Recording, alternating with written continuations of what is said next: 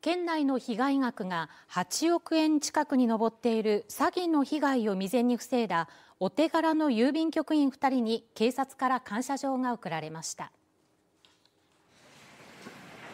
白石警察署長から感謝状が贈られたのは白石町の住之江郵便局に勤務する山田正樹さんと有明郵便局に勤務する野中美香さんです。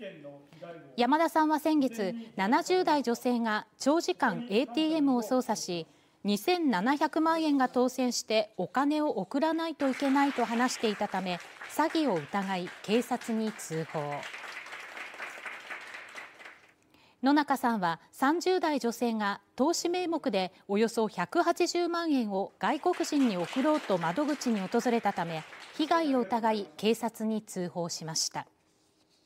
今後もあのお客さんのこと気にかけて、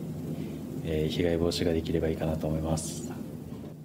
嬉しくはあるんですが、まあ、詐欺防止もできたとは思うんですけどもこういった事件事案がないような佐賀県になってくれたらなとは思います